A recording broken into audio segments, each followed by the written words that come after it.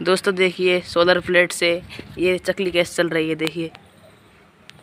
ये तो मैं इस पर लाइट बंद करूँगा, ये आ गई और हटाते ही चल जाएगी ऐसे।